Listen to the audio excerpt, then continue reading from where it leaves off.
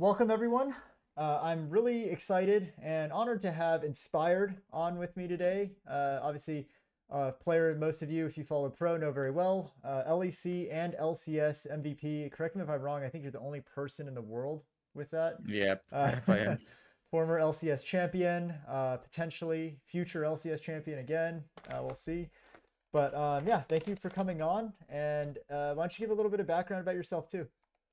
Um, I mean, you've kind of described everything I achieved, and uh, I don't know what else I can say. I've been I've been playing at Worlds three times. I guess that's the Okay. thing you didn't uh, say, and uh, I guess that's pretty good considering I only missed it once because I don't count the last split because I didn't really play, Fair. and uh, I guess that's it. I don't really know what else I could say Uh, about well, myself. Let's talk about your gaming history. You know, obviously you didn't Yeah. start pro, but tell us a little bit about your background. You know, how you came up, when you start gaming.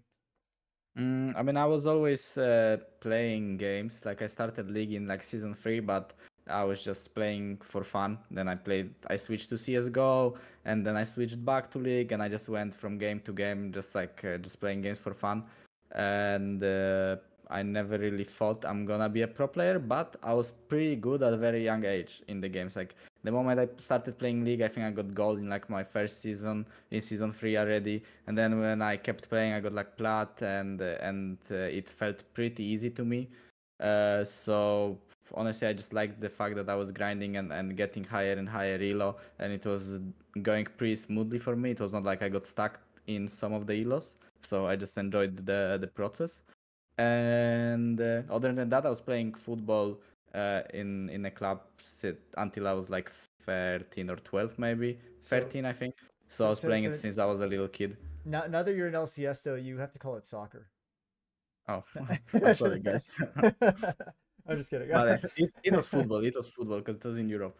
Yes, yes, true. Okay, uh, and that, that makes me feel really bad because it took me three years to get to, to gold and then, and, and then to plat. Um, Yeah. But awesome. So you know, obviously, we missed watching you play last season. There's a lot of issues going on. You don't have to get too much into the details, but you know, what were some of the the factors that influenced like your decision making? I'm assuming it wasn't purely just oh, I didn't want to play. Uh, what were some of the things that were going on that kind of prevented you from playing last split? Mm, I'm not sure. I think there was some something inside of EG that just uh, they couldn't really let me play. I don't know what was it about because I was happy to play either way, even though uh, we had to make some roster changes or like EG told us they have to make roster changes. I was happy to play either way uh, because I didn't really find any better opportunities for myself. But uh, they decided to uh, to go with the other players. Yeah, that that was really disappointing to me because I thought we'd get to see, you know, another split, uh, or another season of you with uh, Jojopyun. You guys had a lot of uh, dynamic, you know, obviously. Yeah, the, I mean, the year. I was also hoping for that. That was very weird because it was during the off season where no one really expected it to happen, and it just happened like that. That we got informed that uh, we are not gonna be playing anymore uh, for the upcoming season. So it was pretty weird and kind of sad. Yeah. So so what was that like when you you know found that out and now you're thinking, okay, I'm teamless. What was what was the thought process? What was going through your head at that point?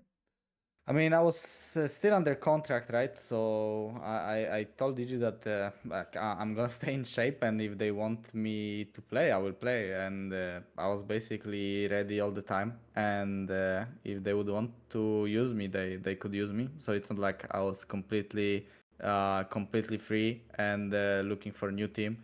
I was uh, kind of just uh, being on the bench and and uh, waiting with my contract and, and seeing if they will need me. That that's actually crazy to me, um, because how how does that even make sense when you think about you know what one of the major issues last year uh, with EG was the jungle rotations, right? Uh, Yeah. Going from Armao, going to Shaden, back and forth. They just could not figure out who to stick with, and it, I think it really cost them in playoffs.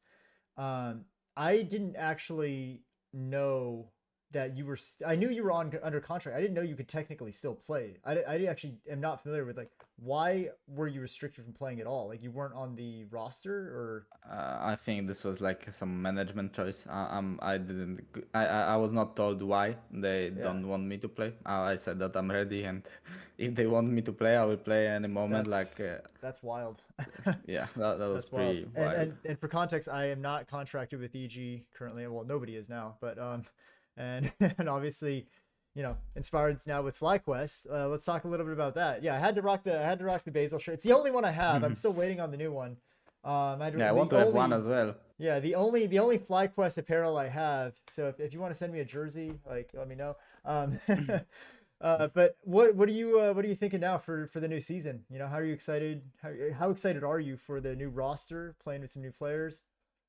Uh, honestly, I'm mostly excited about top because I like I played against Bwipo a lot in Europe. Then he came to to NA same time as me, and uh, he always seemed like a very solid and very good player that is like not uh, scared to take risks and push his advantages. So it I think it will be very exciting playing with him. I think me and him will match together in the game. Our view on the game seems pretty similar.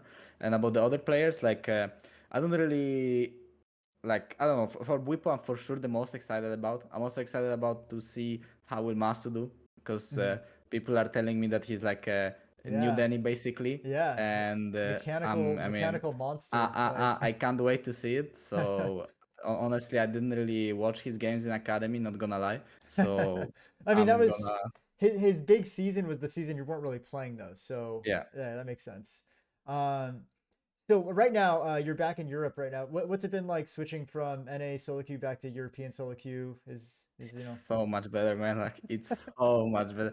I hate NA solo queue, but uh, you have to like uh, adapt, I guess, because uh, in NA solo queue, I just play to make sure my mechanics are on point. I don't really practice the game like a, uh strategical way. I think in Europe you have a lot of pro players, even that are playing in ERLs and stuff. So you can kind of practice the strategical uh, level of gameplay in solo queue and like high rank solo queue. Uh, but in America, it's hard to get a lobby with 10 pro players. So most of the time, the games are just uh, uh, one-sided by the team that has more pro players, or if there is non pro no pro players at all, then the game is complete fiesta. So Yeah. you just have to kind of get a- you adapt and I guess enjoy enjoy the game. you get, you Enjoy get a one game. trick on each team. You get Yeah, a yeah. random streamer doing a challenge. You get Yeah, exactly, exactly. um yeah that that's actually a good point too with the erls uh did you notice a difference i mean maybe because you were only here for a couple of years but did you notice a difference between last year and this year with the removal of nacl academy uh system was there was there a significant change in solo queue at all Uh, I don't think so. I mean, I didn't really notice it that much, honestly. It felt Mhm. pretty similar to me. Um, yeah, I, Okay. I, I don't think so. But at least in, I mean, in Europe, the ERLs are like at so much better, uh, like so much better organized than Yeah. American uh, uh, scene overall. So in Europe, there is like, uh, yeah, uh, if you get to challenger, you basically, if you get into challenger lobbies, you play against pro players all the time.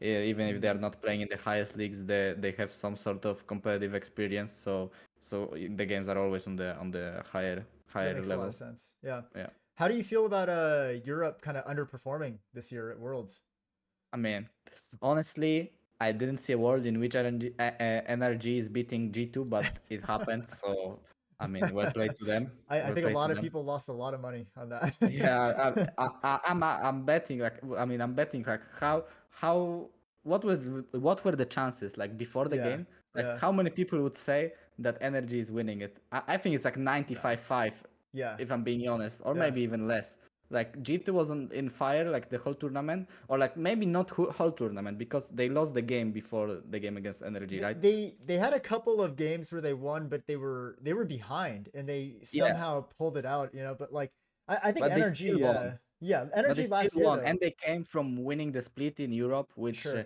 technically is a stronger league than than Mm-hmm. LCS. But I don't Mhm. think it's th- uh, I don't think it was that big of a difference. I just felt like G2 is uh, way above uh, all teams from Europe or, Yeah. and all teams from NA, and the other teams are on pretty equal skill. Yeah. But yeah. yeah, NRG did it, and uh, I yeah, that, that that was fun watching it. Honestly, like yeah. I mean, it's always fun to watch upsets. that that's why it's fun to watch the tournament itself. You always, you're always- hoping for some massive upset. You know, like you know, a LPL team losing to the third seed from NA or something. But Yeah. but um, it's interesting though because I think that this season in LEC especially was kind of the weakest that we've seen LEC as a whole. But G 2 still was definitely head and shoulders above pretty much every other team.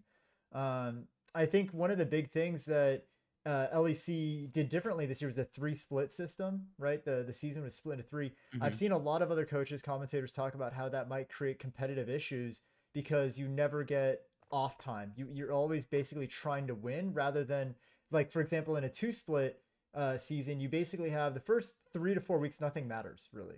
Right. Like Yeah. and you you've been through that. When we were, you know, Yeah. working together on EG, we talked about that a lot. Like, hey, it's the first three weeks, it doesn't really matter. All we need to do is improve into the last three weeks. Um, with the three split system, they don't really have that because Yeah. by week four, every game matters. You know, by week three, every game matters already. So do you feel like that would, as a pro player, do you think that creates sort of an issue for you if you had to play in a three split system? Mm, I don't know. I think I would prefer playing two split system because Mhm. uh, I just like the fact that uh, you can you have time to improve as a team. You you are not forced to be good from the get go, and uh, even if the beginning is not uh, going that well, like for example, you are losing the games, but uh, maybe you are just losing because of some uh, teamwork stuff that you know you're gonna fix in in in upcoming like weeks or upcoming days. Yeah. But uh, in LEC, those games might actually just uh, yeah might Yeah. actually end your season and uh, and that's it. So I, I prefer for sure the the two split season. And also I think winning the split is just more more hyped because. Playing free splits, I like when G2 was stacking the splits. They like won free splits and then they played uh, season finals. It just felt like they are playing a tournament after tournament, Yeah. winning some trophy after Yeah. trophy. And when there is just two splits in the in the year, it feels uh, more hype to win it. I think. I, I agree. That's what I said when they first announced it. I was like, who's going to care about winning spring split now? Yeah. I mean, it's like one of three trophies that year. Uh, and and uh, they don't even do like the the big uh, live audience right for the first couple. So it's kind of it feels watered down for sure. Um with with the same same idea though too as a pro player like as you're coming in you were a major leader on eg right? Like when when i first met you and you first came into that roster uh, you did a lot of the shot calling. I remember you know being backstage and listening to kind of the player comms and all that. You do a lot of the shot calling. Do you feel like that's a role that you were put into or is that a role that they brought you in for like is that something that you developed or is that the reason they brought you into a team like that Um, I mean, I think, I mean, they for sure didn't know exactly like what I'm gonna bring to the team, right? Because it's kind of hard to know exactly what the player is gonna bring. But I just knew that uh, I'm gonna be fine playing with the rookies because I have good view on the game and I know how to like, uh, re- uh, like how to lead the game for my team. So even though I was joining the team with uh, rookie on both carry roles, I, I knew this I will make this work Mhm. and I did. So Yeah. I don't know. I think it's just my playstyle. I just like when everyone is organized and playing together because uh, I think that's the most important in, Yeah. in competitive games. do, do you kind of see that similarity coming into FlyQuest now? You have a, a rookie Um, bot lane again. You have, you know, players a little bit less experience, except for top lane. I mean, I mean, I don't know yet. I think we'll we'll see when I start playing with them. I think it will be similar, but uh, I mean the difference in middle is like wild because I mean like very big because Jensen is obviously like very experienced player. Yeah. It's not like Jojo that I'm gonna have to teach everything from the beginning. I think Jensen for sure has his way of playing the game and his habits and the way he wants to play. So it's gonna be way different than Jojo was. do, Uh, do you do you feel like in some ways that's actually a challenge? Um, maybe. I think I, I've never played with a, a experienced player in mid lane. Like when I was playing with Larssen, he also Yeah. just started playing in LEC, Yeah. and then with Jojo, he also just started his uh, his like pro career in the highest level uh, level. So it's gonna be something new, I guess. Cool. Uh, and th- this is something out of curiosity now too for me. Um, when when you're being scouted for a team or you're be, you're talking to the managers, you're talking to the coaches, how much emphasis do they put on player responsibilities, player roles, and that stuff? I mean, obviously everyone knows you're a talented player, right? Mechanically, you, you have the game knowledge. Did they talk a lot about how personalities are going to fit, how how you're going to integrate with each player um, when they actually put the team together? Mm, I don't think people really do that. I think it's it's good to do that, but I, I think some teams don't really do it, and some teams overthink about it. Like Sure. I don't think you have to match personalities so well to be good as a team. Sometimes even if the personalities are not like uh, very similar, it's good because then you kind of like uh, try to work together and and and get to know each other. Mhm. and uh, some people just don't like when things are changing also. Like for example when i played with Larssen he liked uh, to play his way. Uh, so i kind of had to more adapt i think to it. Mhm. and uh, i'm more of a flexible side so i can adapt to someone playing uh, their way. Or i can also if no one has direction in the game i can be the one giving direction and and making sure everyone is on the same page. So i think uh, character wise it depends i think i have never seen a duo that you can say okay those two can't match because their characters are way different i think that's not really a case Yeah, at the pro level, right? I mean, it's Yeah. kind of expected that you sort of learn from, adapt from your teammates. Yeah. Um, and then coaching staff, you know, like uh, you've worked with coaches who have been pro players, and you've worked with coaches who have basically never made it out of, you know, silver. Uh, yeah so, do you think that there's a huge discrepancy in the ability to coach when it comes to being able to play the game?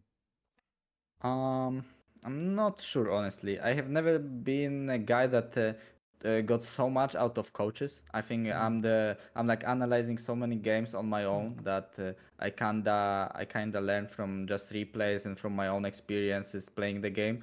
So I, I yeah I was never never really a guy that would like ask my coach a lot of questions or or try to learn from this.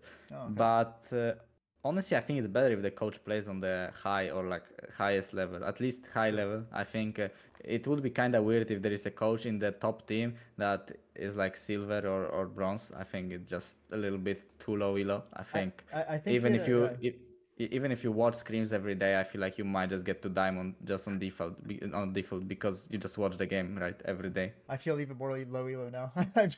but but um but I guess it also ties into the question like what is the coach's role then, right? If you're not learning from your coach in terms of how to play the game better, what should the coach's role be? Let's say head coach versus strategic or or uh, positional coach. Yeah, in my opinion, like head coach should be the guy that leads the team outside of the game, the Mhm. guy that uh, does uh, outside of the game things for the team. It which is making sure that uh, everyone is working together, everyone is in the review focused. Uh, if someone is making mistakes, like uh, I don't know, having a worse day, he will just talk to him and see what's what's up with him. If it's just a, a bad day or something happened, uh, someone that is just good at uh, talking in real life. Yeah. And I think more of the game stuff, like anal- analyst, I think should be doing uh, uh, things that help you prepare for for the team that you are facing. Mhm. And if there is someone that needs uh, uh, like a personal coaching, I like the the style of as of wh- what you said. It was positional coaching. Positional coach, yeah. Yeah. Yeah, I think that's good for for new players, Yeah. and if if they don't have someone in the team that can uh, try to help them with that, because I think not every player has ability to like teach their their teammates if they are like more experienced. I think in our team, me and Bwipo are, are gonna be really good at it, so I don't think uh, Massu will have much issue with that. Mhm. I think we're gonna be able to help him a lot. But in some teams, maybe you don't have uh, that much experience, and then uh, some positional coach could be good. But I have never worked with anyone, at least for me, so it's kind of hard to judge Mhm. how, how useful it is that. Yeah, yeah, that makes sense. Um, I think like every team is also going to be different, right? Like depending on where your rookies are, if you have a rookie top laner, you might have to think about the team dynamic a little bit differently Mhm. than having a rookie bot laner. Where as a bot laner, at least you have a support literally there, you know, holding Yeah. his hand essentially, like telling him like what they can and can't do. Um, I, that that's sort of what I was getting at with the the team structure. Like, how does a team approach organizing and putting together a roster? Because I think you know it's preseason. Everyone's seeing all the rosters getting announced. Everyone's getting all hyped, like, "Oh, this team's gonna win. This team's not." We're gonna talk about that later. I want some predictions, uh, but um, I think every team does it differently. So I think you know EG. We keep going back to EG as an example, but you know EG last year kind of they they kind of took the idea that you could build a team around analytics and have it overperform compared to what you would say on paper. Like each of these individual players on paper, you wouldn't say is going to be a top four team, right? Or a top four player, but they managed to Mhm. make top four. So yeah, I, I think there's some element of like, okay, maybe especially with sort of the budget cuts, no, no, no team right now is gonna drop a million dollars on a player anymore. Like it gets really hard to say, is it worth it to overinvest, or do teams have to start looking at fundamental structure differences? Like how do we make players better now? I mean, I don't know. I, it's really hard to make a player better. Like how to find a new Mhm. talent. I don't know. Like how did Jojo start? I I, I don't know. He just uh, played Fortnite and then Yeah. uh, switched to League and ended up being good at games and Yeah, he liked yeah. grinding the game. Uh, so If I remember, he went from amateur straight to. I did he? I, he might have played academy. No, he didn't play academy. I think he went he, amateur. play, he played academy. Oh, he, played academy. played one yeah. split, right? Okay. Oh, oh, his Danny did not play One. I think he played one one year. Yeah, Danny didn't yeah. play Danny, academy. Danny he went went- straight amateur. Yeah. Um, and Danny as well. Like he, this guy didn't have experience, but his mechanics were just like when when I watched him play teamfight, he wouldn't die. Like it, it was it was just something weird Yeah, in yeah. in his head. He could think about everything that is going on around Yeah. him.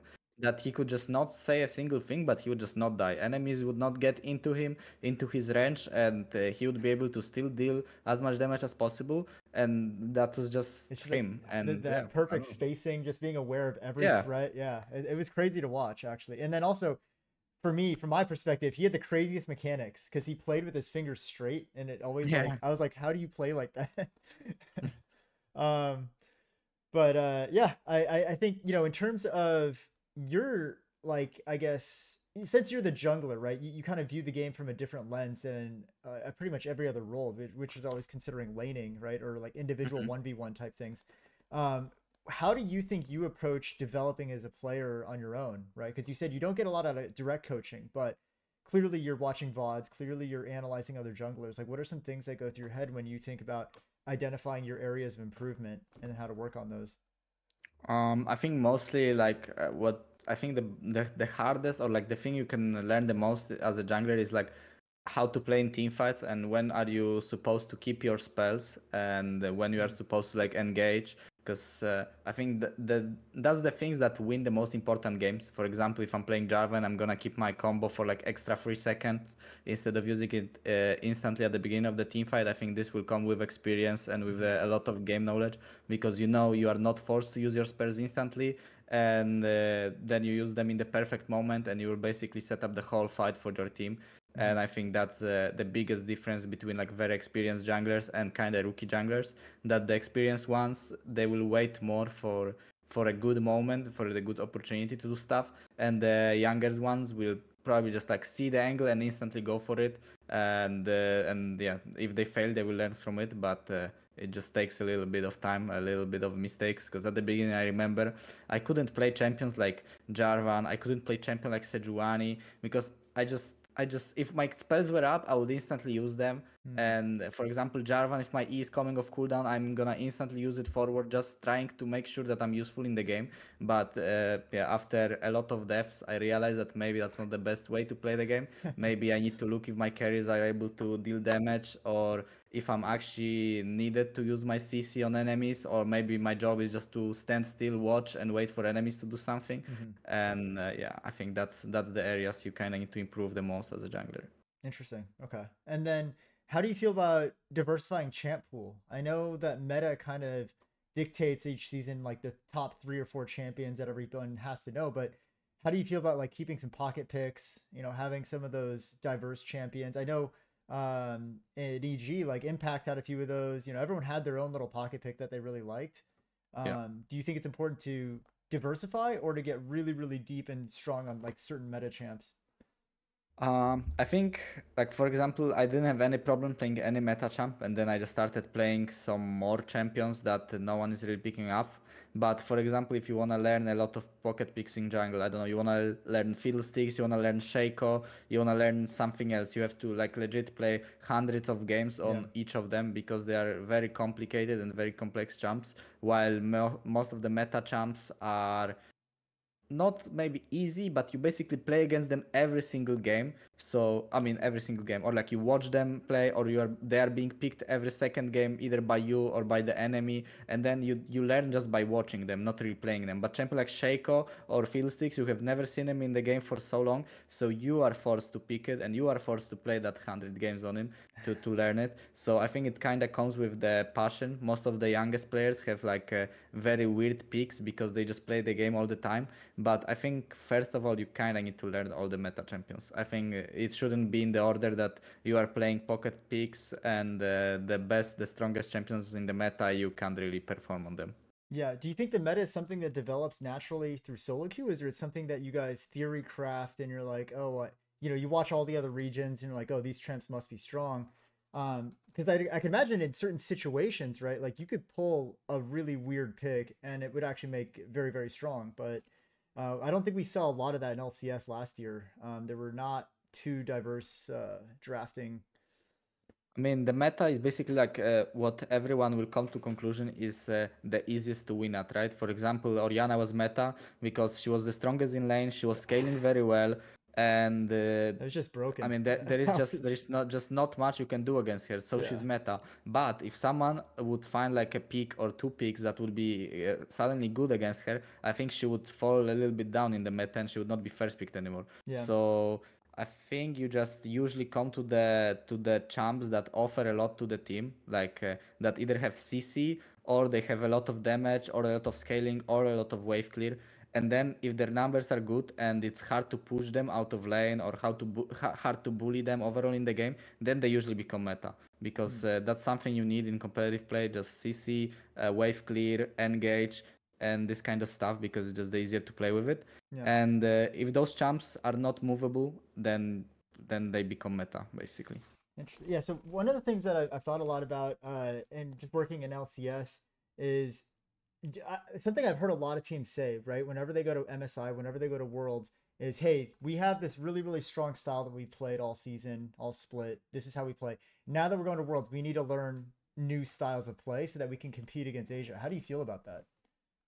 Um, I'm not sure, honestly. I think it's hard to say. I think it, it, it was it was depending on the meta as well because the the worlds in season 10 that Damwon won, I think. Uh, before going into Worlds, uh, China and uh, Korea they were playing a lot of Nidalee, I think, and Graves, and in mm-hmm. Europe and America, no one really picked those champs. And then when you go there and they pick pick them, and you realize that you can't really deal with them with other champions uh, rather than just matching them, then you kind of have to either ban everything and try to play mm-hmm. your stuff, or, or adapt and play what they did.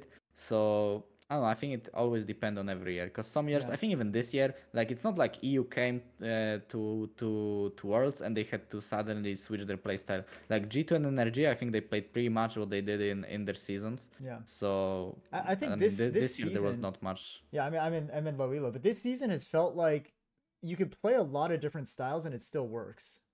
Um, there's there's a lot of early game comps that work. There's a lot of early game champs. There's a lot of late game champs. It, Actually, it the, the, meta the meta switched during the tournament. I think during the yeah, tournament, everyone yeah. started playing the range bot lanes yes, again yes, because they realized yeah. that they're actually not weak, and uh, you basically picking them. You you have a high. Uh, you, ha- you have a high advantage in the early game that it will basically mean that uh, you can control the whole game so right. you have to match it and so do, do you feel that, like that's that, how the meta evolved Is at that, the beginning it, it seems a little bit slow though right because for a long time i think a lot of even academy and amateur level uh, analysts were saying why are people just blind picking Nautilus? Yeah. You know, like it I just mean... you know, but but it's comfort, you know, I guess a lot of a lot of pros like the option like go button, right? They engage, you can just immediately start a fight. Um, but but then they started saying, okay, well if, if we play double range, then you can't even play. Like yeah. Um, so that, that's always interesting because those dynamics, I think, don't really ever change unless the relative power level of each champ shifts and people just aren't trying it or aren't aware of it. Yeah, um, I think in NA at least it was probably like the ranked champions started losing a bit in scrims, and people were like, okay, let's just play melee champions because we are winning with it more. And then uh, it went to the stage, and no one really. I mean, everyone kept playing the tank champions because I know NRG won the split because, I, in my opinion, because it was perfect Ignar meta, like perfect yeah. support engage. He he just loved that meta. He was playing Alistar and and stuff like that every yeah. game uh, and they won the split. And then uh, they went to Worlds. They started playing it as well. But uh, uh, when the the better teams started playing, uh, it just seemed like they practiced in scrims. Like someone blind pick Alistar against them, and probably Keria said, "Let's try Ashe. I think it's gonna be good, right?" And then he won with Ashe once. The other team picked it up, and then it just snowballed into every scrim block, Oh, and no. everyone re- realized that okay, I guess we can't pick Alistar anymore because they will just play Ashe. It was like it was like last year when everyone started playing Heimer and it had like nobody Yeah. was winning on Heimer except for Beryl. It was so bad. but I guess it was so disgusting in scrims, everybody kept banning it or picking it. Um, Yeah. I heard a lot of people talking about like in scrims it was just completely broken, but then on stage it never showed up. Um, Yeah. Yeah, it's interesting. So like, do you think that meta is something that evolves organically, or can, can it be something that's shifted directionally? Like, should coaches and analysts be putting more effort into trying to break the meta, or should they be trying to perfect the meta that exists? Mm, I think it depends because there are some metas, like for example, when Maokai jungle was meta, in my opinion, this was not movable. So you should try to perfect your uh, your playstyle, playing with Maokai and playing with AD carry mid like Tristana or Jace, and uh, you should perfect it. But when there are some other metas like the tank supports, like uh, when you know that they are not like super OP, they are meta because they are meta right now. People think they are meta, but you can look for counter pick, counter picks to it. For example, to Maokai, to Maokai, I felt like he has so much kit. In, I mean, he has like so many possibilities in his kit, and he's just so strong with, with his stats that it was hard to move him. But the tank supports, I think you can you can find counters to it. So mm-hmm. I think you have to realize like if it's meta because it's just broken, like the numbers are too high, or is Yeah. it meta because everyone is just playing it and you can actually find counters to it. Right, that makes sense. Like Orianna, there's just no arguing that Orianna Yeah. was like a tier one mid lane. Like it was, it was completely busted. Yeah. Yeah. Okay. Yeah, makes sense. Um, getting away from league talk for a little bit. Uh, what are some of your like goals in coming back to North America outside of league? Do you have any things that you want to pursue this year? I mean, outside of league, I- I'm not sure. I've been going to the gym when I had off season right now because I didn't have anything to do, so I wanna keep like good habits, I guess, while I Yeah. will be playing. And other than that, I don't know. I'm like so ready to play again. Like it's Yeah. been so long, and it's really boring to just uh, sit in home and not be able to play competitive games. So Yeah. I'm looking forward to start scrimming again. I- I'm uh, sure. Yeah. After after that long of being on that schedule, like sitting Yeah. at home, just you know playing solo queue must feel like Yeah, and also I felt like I was in. I, I really felt like I was in my peak form, even though when we lost playoffs in spring, Yeah. I think uh, like the the way I viewed the game and everything around me, I, I just felt like yeah, I was really in the zone, and uh, I have never felt that confident in the Mhm. game, and that was very sad that going into summer I, I got told that we are not gonna be starting. Like uh. I still think like uh, right now when I played uh, played some scrims with like uh, I mean not scrims like in houses and stuff. I Mhm. just feel like uh, I'm in my top form and and I can't uh, wait to to show it and That's to play again. Well, next next season's gonna be a bit of a banger with uh, all the changes to the game itself now, right? Like it's, Oh yeah, actually I forgot to say about it. Like I, I just tried out the new map. It feels a completely different game. Like yeah. everywhere you go, like every river fight you take, like there are complete different flashes over every single wall. When you flash over one wall, there are like random walls appearing in front of you, and your brain is completely not used to it. Like I was playing 10 years the game, and the, walls were completely different. Like what am I supposed to do now? Like Yeah. I think I will, it will take me at least like 20 f- or even 50 games to get used to it. It just I it mean, just I- feels so unnatural right now. I, I think this is really going to change the workload, at least in the first split for teams, right? Uh, Yeah. Do you do you foresee, you know, because of these massive changes, everyone's gonna have to be learning so much. One, I can see a lot more volatility between teams. Like teams that we think are going to be really good might not be as good in the first split because Mhm. everyone's learning all this again. Yeah. Right. I agree. I agree. Yeah. Especially in the early weeks. Yeah. So it'll be really interesting to see which teams are actually uh, are able to adapt faster. Um, Yeah. So yeah, are you are you uh are you liking the map?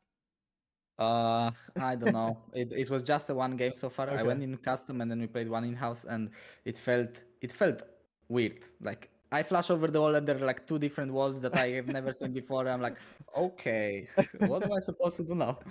So Uh, yeah, and then, I, it's yeah. too early to give my opinion.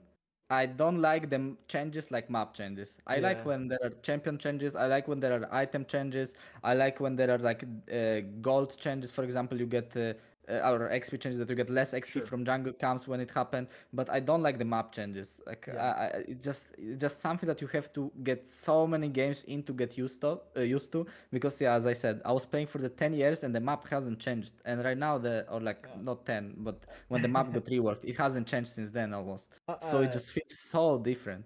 uh, I, I thought I had actually uh, when they first announced it was how many challenger level players do you think are going to be unable to hit challenger for the first like six months because they have to Oh, I relearn think everything? I think there might be a lot of them. I feel like uh, I don't know. I it, honestly, I'm saying like after this one game, it felt really like a different game in some fights. It's Sure. just like you are playing League, but you are not as confident in every click as I Mm-hmm. was before because the walls are different. I don't know if I like can kite to the right side and then flash up uh, and and wait for my cooldowns because it just feels a bit different. Everything like the walls, the walls are shorter, the Yeah. brushes are not there. I- I don't know. It just I, feels I odd. actually don't know if they announced it or yet or not, but um, do, do you know if they're doing Champs Queue next year? Um, I think so. Yeah. At least in Europe, the Champions Queue is coming soon. I think Okay, so. okay. Probably in America should be there too. How do you feel about Champs Queue versus Solo Queue and versus Scrims? Like, Um, how how you juggled all three? I mean, I, I like Scrims by far the most, right? On Scrims, uh, I try to always put my like best focus and make sure everyone is really focused because it's only six or five games a day, Mhm. and uh, I think you can by far learn the most in Mhm. them. And in Champions Queue, I think Champions Queue is still better than uh, than solo queue if you wanna practice something, some certain things in the game. Like I don't know if you are support and you wanna focus on uh, having good uh, rift timer uh, then it's better to play Champions Queue. But if you just wanna play for mechanics, I kinda like playing solo queue, just playing off role either top Yeah. or mid, and and just playing uh, playing the game for fun because I still like the game. So so why would I want to go Champions Queue and go with in comms with everyone and and play like Yeah. it's a competitive game if I just wanna play for chill and and play to yeah just just play for fun and test my mechanics. Yeah, that makes sense. That's kind of what I was talking to an academy player or uh, NACL player last year about was how to structure practice differently. Like they should be trying champs they're not familiar with in solo queue in order to perfect the mechanics to try in champs queue. And then once you feel confident in champs queue, then you tell your team, "Hey, I can play. I don't know. Uh, I can play Sion ADC now. Let me try it." Like, Yeah. um, but yeah, that, that makes sense. I, I think a lot of a lot of fans will look at solo queue as like, oh, you're lazy or you're not lazy. Like Yeah. they, they think of it as like if you're not playing ten games of solo queue a day, you're you're not you're lazy. And it's like there's so in, many. my, in my opinion, that's not the case at all in America. I don't think uh, p- uh, numbers of, of games in solo queue are equal to the uh, skill you have. I mean, obviously, if someone is not playing and uh, they play scrims and then they uh, start playing some different games, they don't they don't care about league. Then obviously they they're slacking. But there are players that uh, just similar to me maybe that they just watch replays or they watch their own vods from scrims. For example, after scrims, I like to sit for an hour and just see what we did through the whole day, like what was everyone doing during those games and what I was doing, Mhm. and that's for sure way more productive than playing two games of uh, solo queue. I, I agree. I, I've noticed that same mentality with a lot of veteran players. Uh, so Blabber last year, um, like Yeah. first split, he he barely played any solo queue, um, because he's basically like keeping himself fresh. He didn't want to burn out by the time we got to the summer. He knew he was going to grind in summer, and he did the same thing. He watched vods of every other region. He did a lot of VOD review. Impact, the same thing. He barely played solo queue. Watched a lot of vods. Um, I, I think it just has to be something that is uh, unique to how you learn best. I do Yeah. think if you're a rookie, you should probably be grinding more games. But Yeah, I agree. um, what are you? Have you been working out? You've been you've been keeping up with it? Yeah, Yeah, good. You're you're getting pretty I'm buff. on the I'm on the left. grind. Yeah, All right. I'm all on the grind. When you when you get back here, we're, we're gonna we're gonna see the uh, the arms, right? Yeah, yeah. um, and then uh, I gotta know. So now that you know this has been brought up a lot, but now that JoJo is on the other side of the rift from you, are you gonna be camping his lane? I don't know. I mean, that guy is so annoying. I can already see how annoying it is to face him. You you're gonna Uh, be emoting at him? yeah, I think games against Cloud9 will be really fun overall. I, Yeah. I want to see how they will like uh, match as a team because I don't think Jojo is a good. Uh, I, I don't think Jojo has a good playstyle that will fit Fudge for playstyle. I think Mm. Fudge is way different than Jojo is, and uh, I also feel like Blabber is a type of guy that sometimes needs someone to stop him from from going Yeah. for a play, and I Yeah. think and I think and I think both Vulcan and and uh, Jojo don't have it. I think on on Cloud Nine. Uh, in the previous uh, years, they always had someone that would stop him, but I think this year the those three will always be happy to fight and be happy to uh, look for the outplays. So Yeah. That might end up very good and they will be just smurfing all, all over everyone but uh, it can also end up being pretty bad in some clutch moments in, Sure. in important games I- I'm curious what you think the stylistic differences between Fudge and uh, and JoJo is. I mean, I, I mean, kind of know JoJo Uh, being, you know, like yeah i think jojo is just way more aggressive than fudge i think fudge takes small victories he doesn't want to take too many risks and jojo is like uh, he's gonna take a 50-50 if he has one in front of him because he knows it's not gonna be 50-50 because he's gonna outplay the enemies Yeah, that makes a lot of sense. I think it's maybe also how Fudge was coached by you know like Max Waldo and all that. Like he he thinks about the game as the right way to do things. yeah like yeah this is the correct move, and then JoJo's like, I'm gonna I'm gonna skill check you. Like, yeah do you have hands? Um, no, that's that's it's exciting. I, I'm really really excited for the split. Even though we lost two teams, it's gonna be an eight team split. Um, I I still think that there are four or five teams I'm really excited to see how they develop over the year. Um, if we were to get a preliminary, obviously nobody's done any scrims yet or anything. You haven't seen anyone play it as a team yet. Who do you think your top three is going to be? Obviously, Um, FlyQuest. We, we, we could just leave FlyQuest out. Ignoring FlyQuest, who do you think are top three? Ignoring FlyQuest, I mean, I still think, I mean, Cloud9 seems for sure like the best team, right? There is like no uh, really surprise behind it. I think Jojo is the best mid laner, so and mid lane is OP role, so he might be able to lead his team. Mhm. But other than that, I think uh,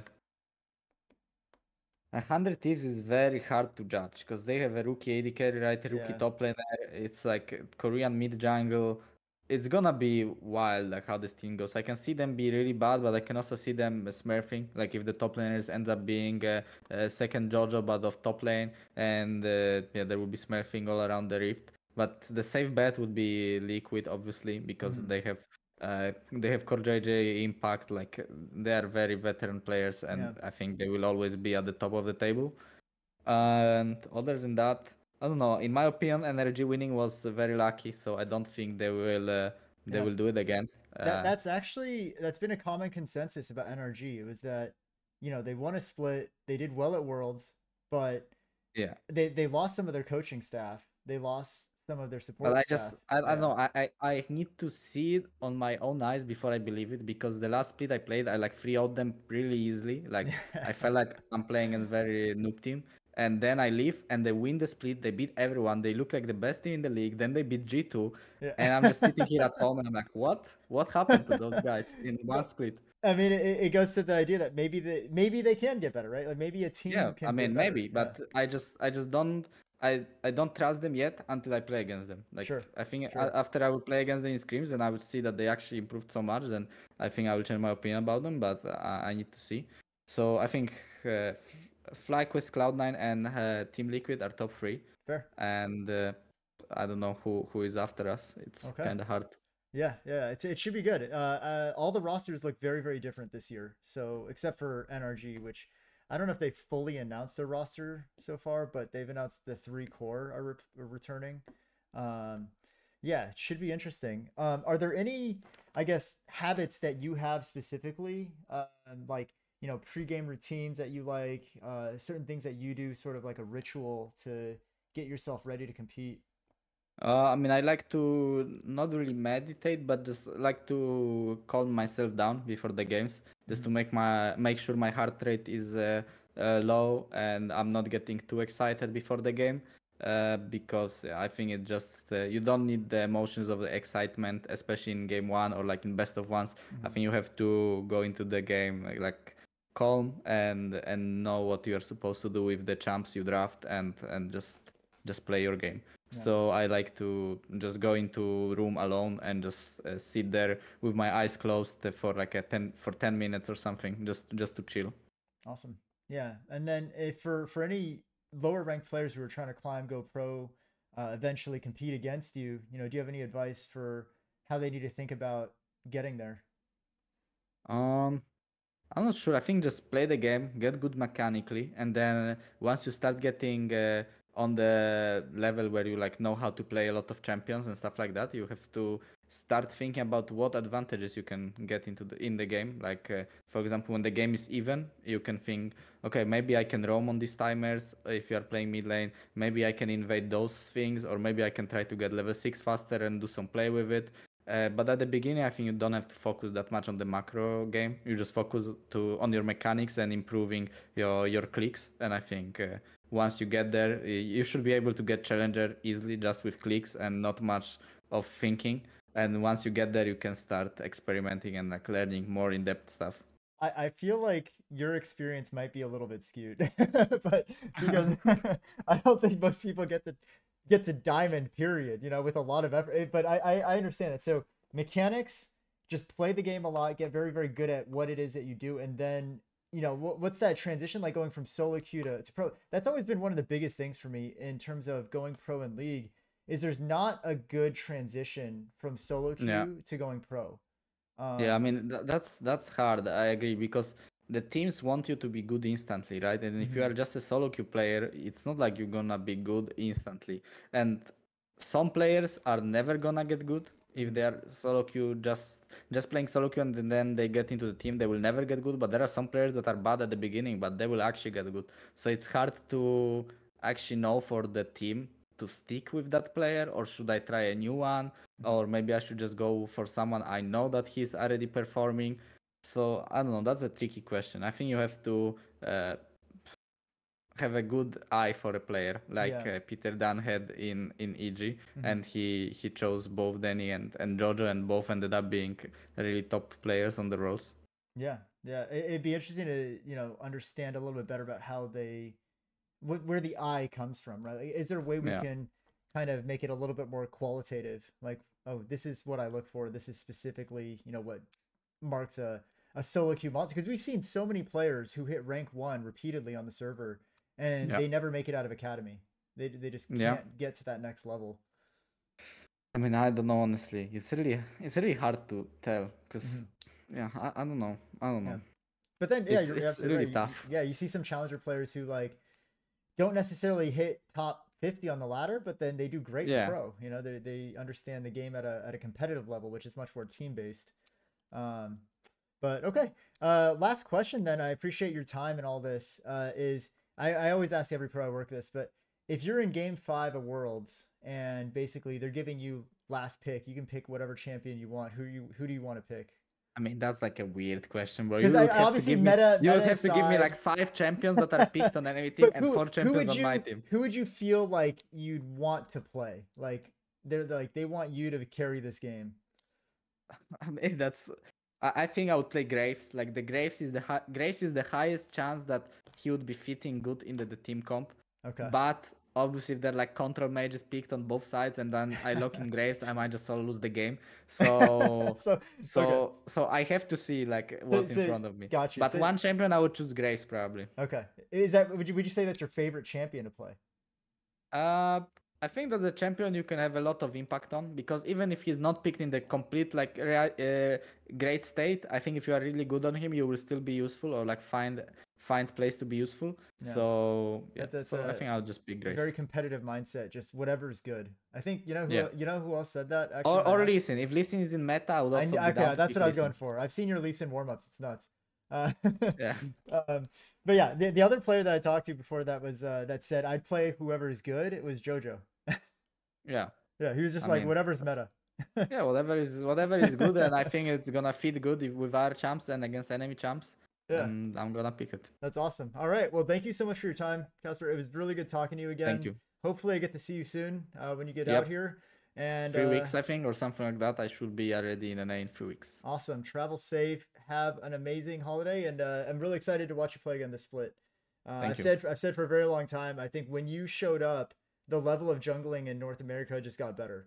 You know, it's just like everybody had to play better because yeah. the stuff that they would get away with before, you, you're just punishing. Like the the first split when you started uh, dominating this, you know, with EG, it was like you're just punishing everything. yeah. So yeah, I love to see it. All right. Cool. Thank, thank you. you. for your time. Have a good night and uh, thank you. We'll thank you. back. All right. See ya. Take care.